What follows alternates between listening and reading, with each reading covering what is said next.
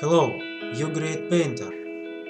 Now, at the moment, you will know how from usual piece of sandpaper create beautiful picture of art. I am very ashamed that I don't know spoken English, but I want to share my art and knowledge